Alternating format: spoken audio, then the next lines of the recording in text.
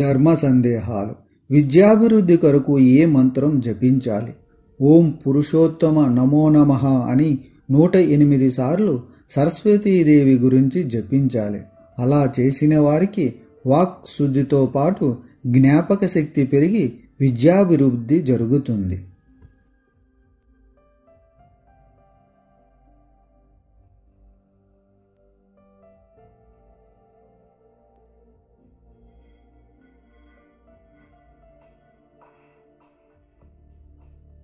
ధర్మ సందేహాలు విద్యాభివృద్ధి కొరకు ఏ మంత్రం జపించాలి?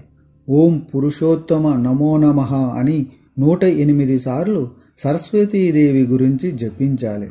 అలా చేసిన వారికి వాక్ శుద్ధితో పాటు జ్ఞాపక శక్తి పెరిగి విద్యాభివృద్ధి జరుగుతుంది.